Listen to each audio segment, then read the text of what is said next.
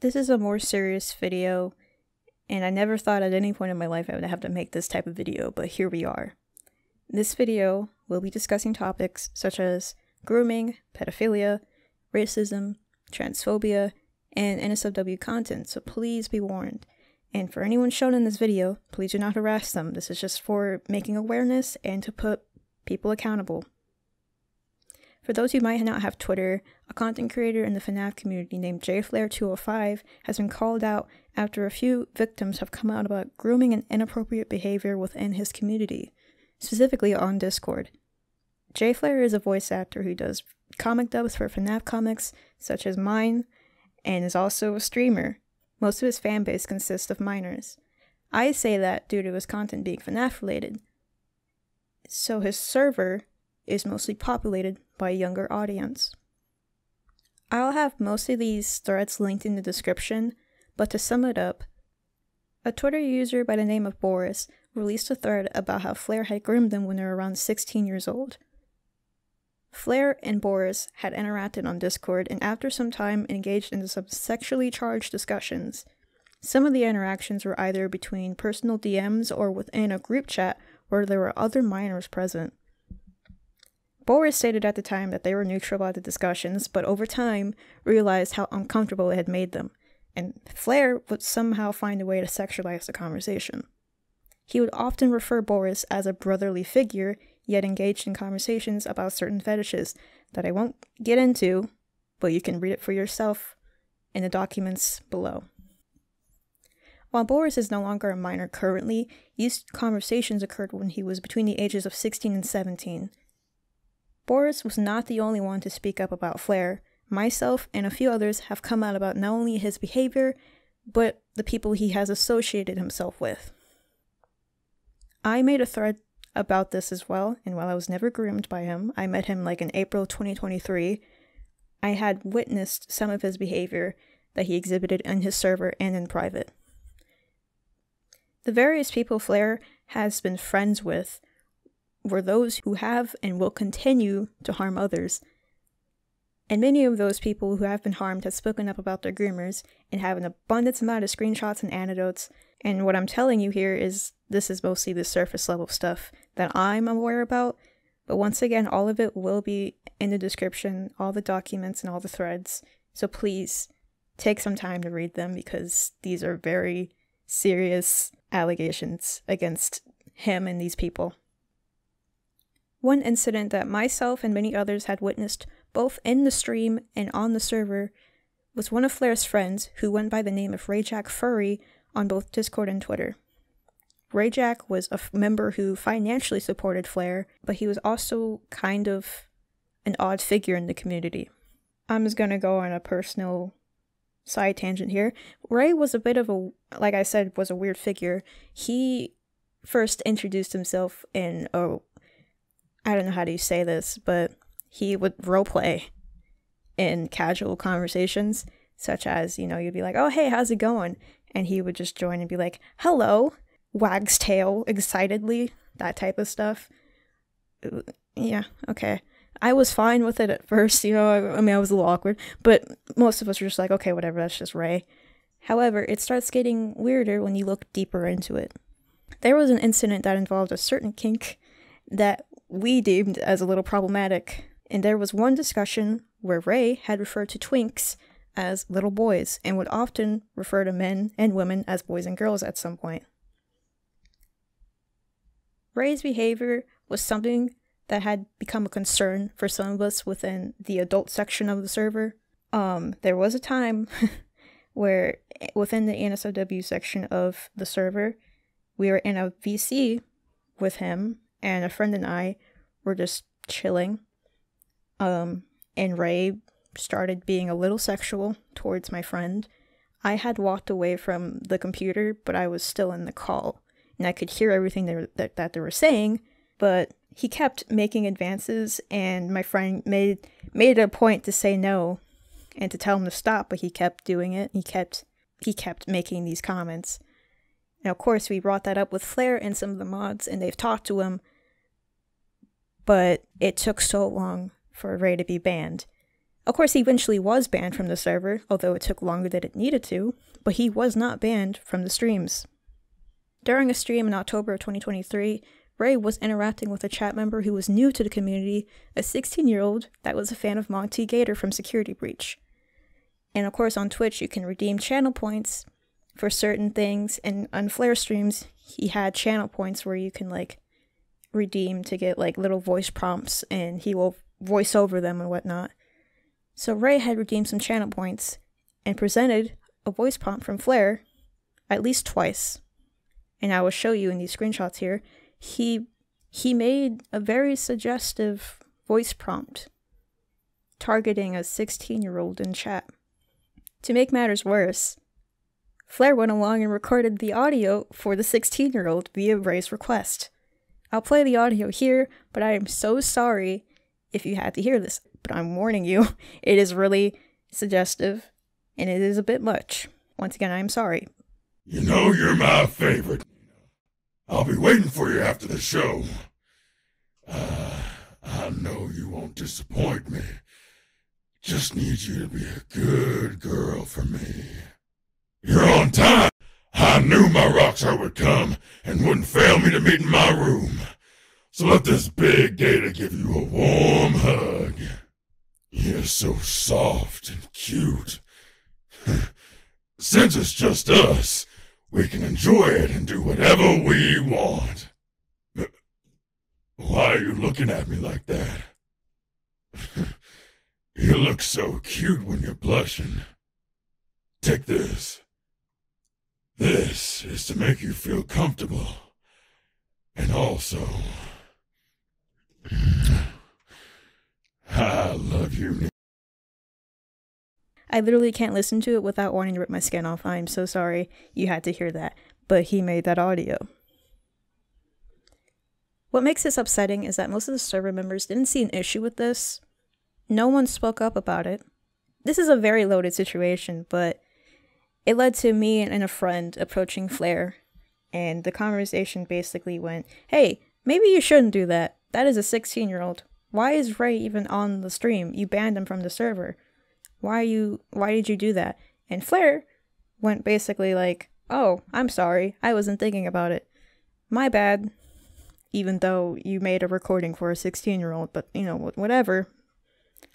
We let it slide, which you shouldn't have. I was pissed off though. Um I do have a screenshot of me um being a little abrasive, but that's besides the point. And also, the mods did speak with him and were like, hey, don't do that. That's weird. So he had multiple people telling him that it was wrong. It was only around December Ray was officially banned from the community entirely, but it took a few minors to actually come out and say, um, hey, he makes me uncomfortable, for Flare to actually do something about it. Why did it take so long for a predator to get banned from a community filled with underage fans? I still don't know. I really don't. Another person that Flare was friends with, as far as I'm aware, was a user who went by the name of Shadow, who had a crude sense of humor. There's nothing wrong with using dark humor until it's directed towards a group of people and is charged with bigotry. Shadow would make quite a few racial comments towards one, some of my friends who are Hispanic and as seen on screen here, he's also made weird OCs that he named Holocaust for some reason. I don't know. He also encouraged one of those same friends to call someone the N word. For what reason? I'm not sure. Shadow is white, by the way. I thought I'd mention that. The reason why Flare kept Shadow around was due to him wanting to fix him However, the issue that I have with that is that he kept being an insolent figure on the server. He was generally offensive, and as someone who's black and having friends who are people of color, I didn't find him appealing anymore when I found out he was saying these horrible things to one of my friends. Flare himself is also black, mind you, so there shouldn't be any reason to tolerate racism at all in his community. Shadow was eventually banned, but once again, it took Flare too long to actually do something about it. And as far as I know, he is still friends with Shadow. Now, this section will get gross and more grim with the next person Flare is associated with, and that person is Glammy. I did not know Glammy personally at all, but the first instance that I've heard of him was by a friend who was groomed by him when he had turned 17. He turned 17, by the way. I'm just going to emphasize that. He turned 17. They were in a relationship with Glammy when Glammy was 20. Flare knew about this relationship, seen in these screenshots here, and instead of rightfully calling it out, he didn't do anything. In fact, he said he wasn't going to get involved. Although, the only thing he did get involved with was fixing their relationship problems.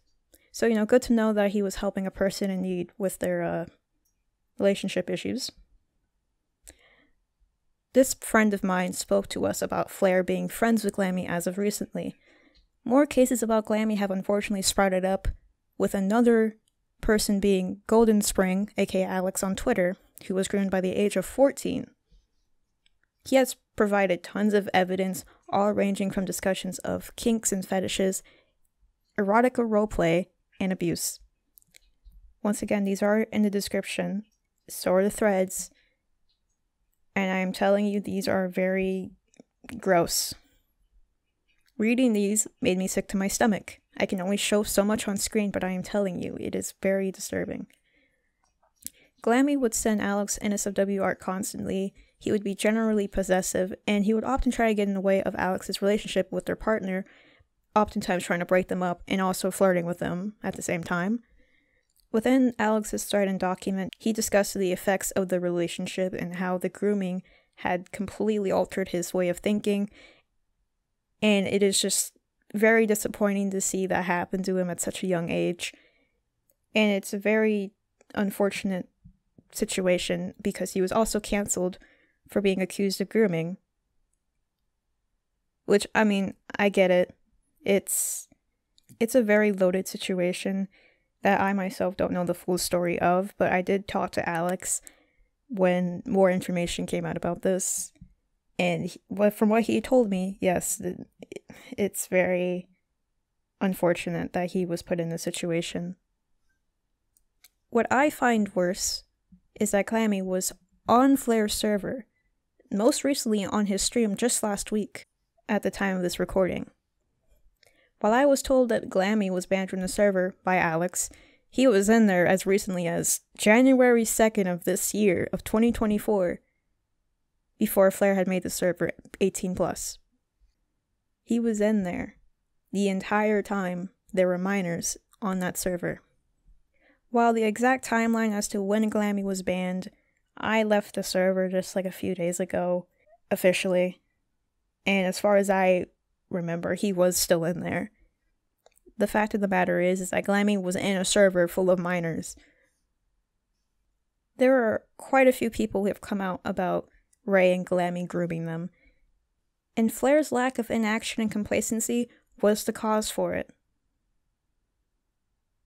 I know I mentioned that this video is going to talk about transphobia, but you please read um, the documents in the description once again because there is a lot more stuff in there than I can talk about in this video. Flare has quite a few fans who are a part of the LGBT community, including myself, but has had a history of saying some transphobic things in the past, and also associate himself with transphobic and homophobic people. You can just read through these screenshots yourself. I will showcase them on screen right now things he has said. Once again, I implore you to look at the documents in the description because, once again, it goes more in depth, and I can only talk about so much here without this video being like three hours long. So, Flare has apologized for his actions, making a document himself. However, this apology was absolute dog water, as it was only filled with slight victimization and pinning the blame on Boris. Saying the lines of, It's not my fault, they instigated it. Look, as an adult, it's your responsibility to set boundaries and to be firm.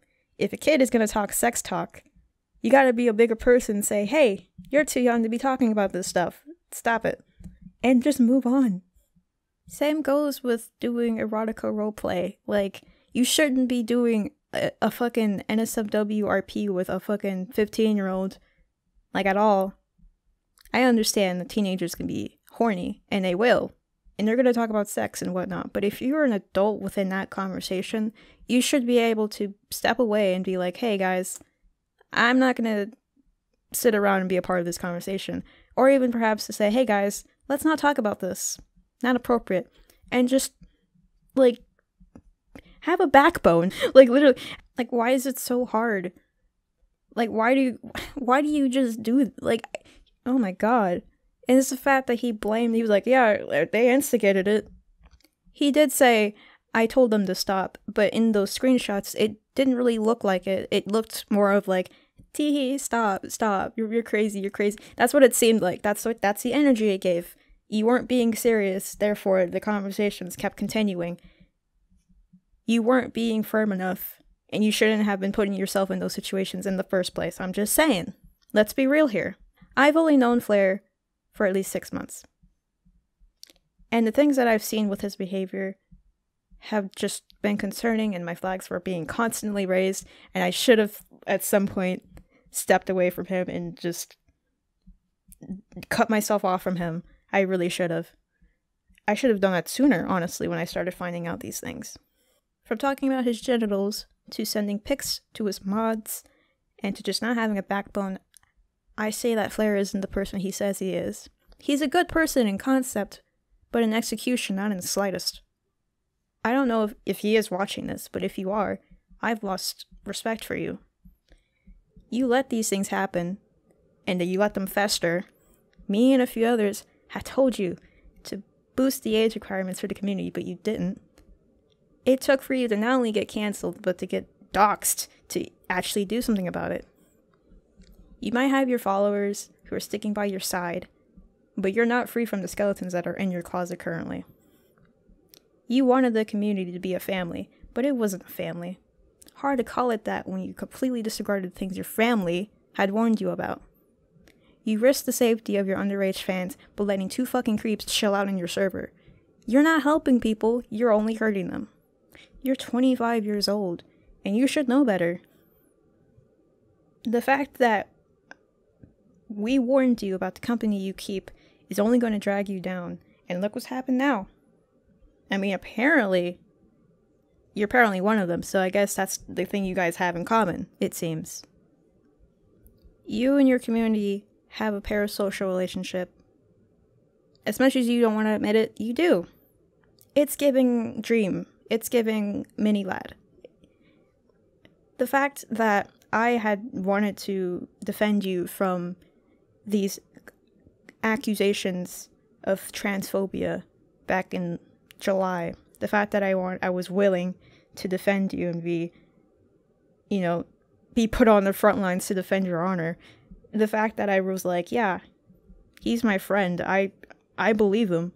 The fact that I believed every single part of that was because I was it was parasocial we were friends yes but at the same time it felt like we weren't friends I can't even just I can't even explain it to you but no that was a parasocial relationship and it was wrong for you to hide behind your fans and have them fight your battles for you essentially. And they still believe you by the way, even though the evidence was there. I don't understand it and I feel bad for them because they had they they're in the same situation as I was back in July, believing you because you said that you were a good person, so they, therefore we believed you. I hope one day they all realize that you're not a good person and that you guys are not a family, not even close to a family at all.